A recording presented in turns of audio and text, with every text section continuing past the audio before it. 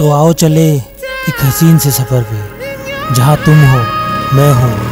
कुछ ख्वाब है साथ में। और पूरी कायनात जो कह रही, ले चल, मनाली में।